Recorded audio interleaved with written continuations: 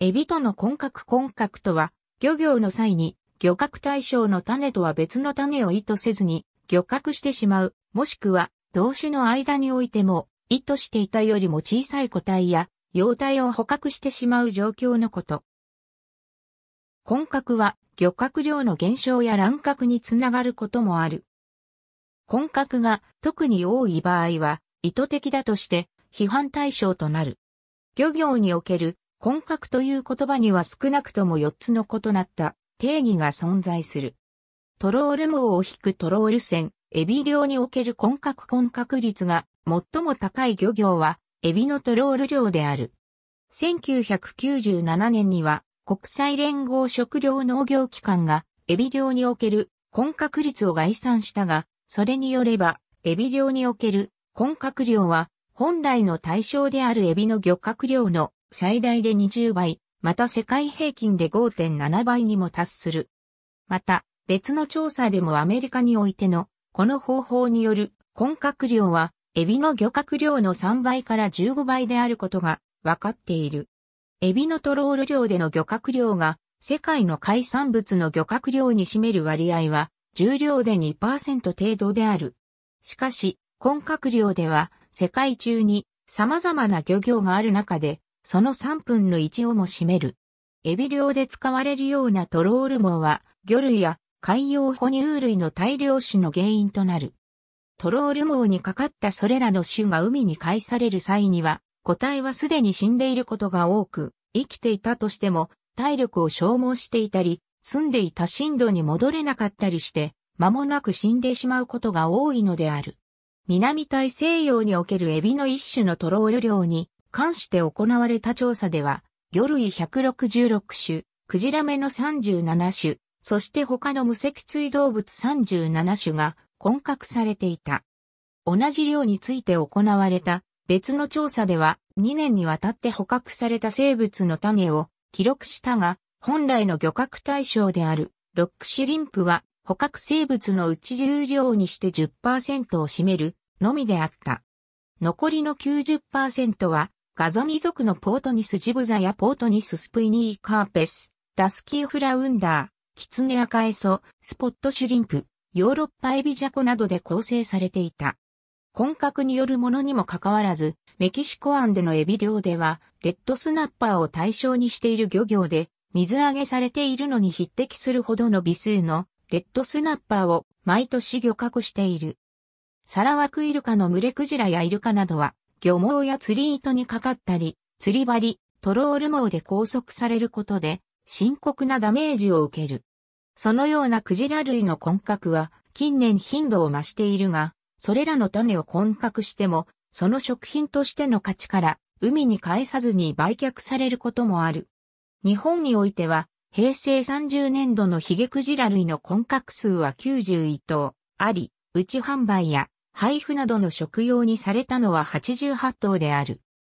漁網に絡まった石イルカイルカの根格の例としては、マグロ巻き網漁におけるものが挙げられる。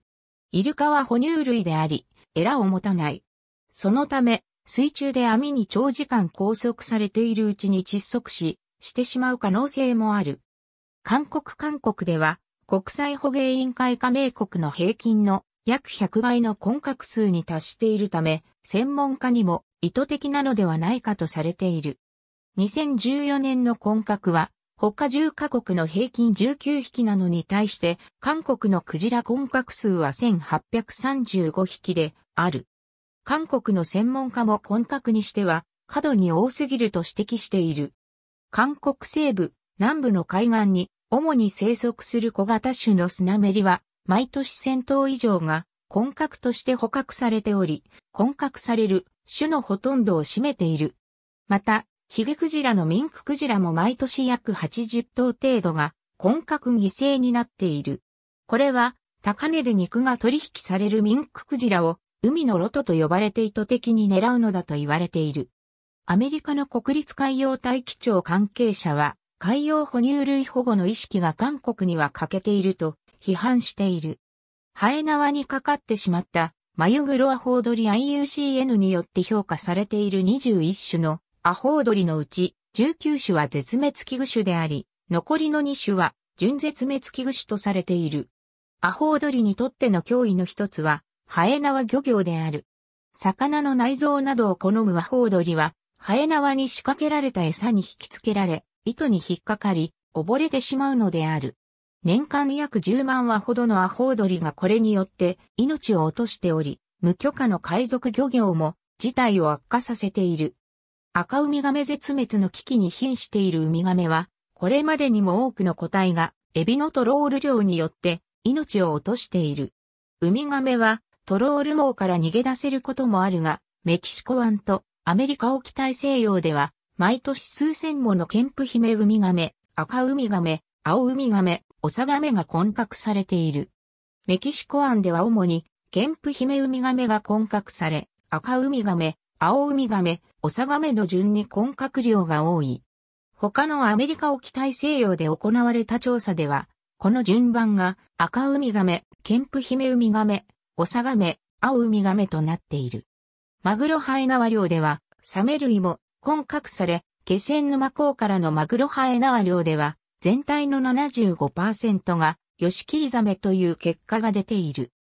このサメ類の混獲では、フカヒレだけを取って捨てる場合も多く、環境保護団体に問題視されるが、日本においては、魚肉もすり身として活用しており、無駄になってはいない。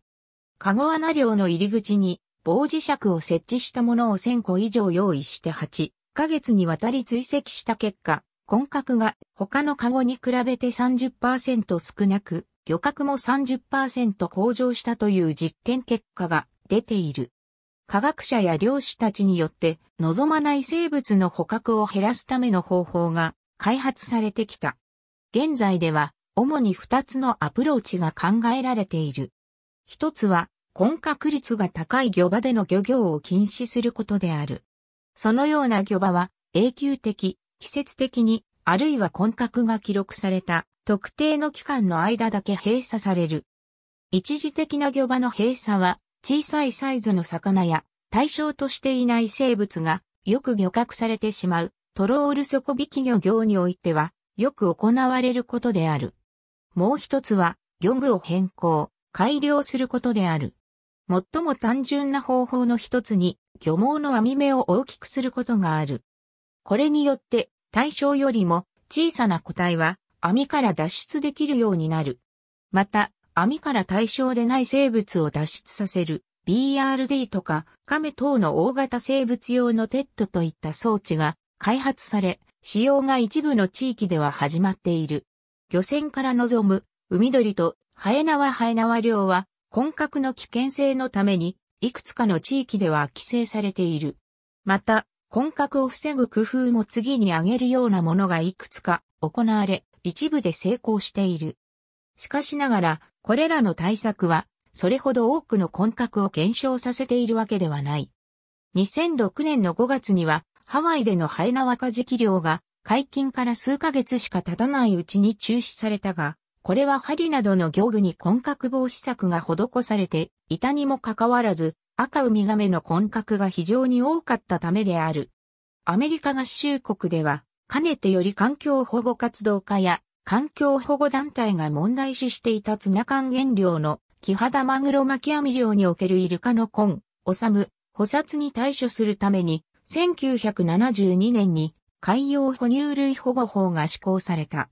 アメリカ船における全米熱帯マグロ類委員会委員のオブザーバー乗船、日没時の操業や深刻に減少しているイルカ類を網で取り囲むことへの規制、爆発物の使用禁止、船長の職務基準などが導入された。アメリカ船への規制が厳しくなる一方、外国船によるマグロ漁が増えたため、連邦議会は海洋漁業庁に改善を勧告し、その流れで1990年9月に IATTC が東部熱帯太平洋でマグロ巻き網漁を行う、すべての船が3年以内にアメリカ船と同等の対策を取る計画を採択、1992年までにメキシコ船を除いたすべての国でオブザーバーが乗船することになり、1995年までに東部熱帯太平洋で捕殺されるイルカを4095頭にまで減少させた。またアメリカは中南米の漁業者がイルカを混獲する可能性がある漁法で水揚げしたマグロ及びツナ缶の輸入を禁じた。その後調停を経て、中南米も完全にイルカを巻き込まない人工収魚装置を使用した巻き網漁業に転換し、アメリカに輸入されるツナ缶にはドルフィンセーフマークが付けられるようになった。混獲という言葉は漁業以外についても使われることがある。一例が営利目的、あるいは非営利、学術目的で行われる昆虫採集での隠しトラップにおいてである。小さな脊椎動物や他の採集対象でない昆虫が混獲される。また、陸上において外来生物等の駆除のために仕掛けられた罠に対象でない生物がかかってしまうことも混獲ということがある。ヨーロッパにおいてマスクラット駆除のために設置された罠にヨーロッパミンクがかかってしまうことなどが例として挙げられる。日本における趣味釣りの用語として混獲された魚を下道と呼ぶ。ありがとうございます。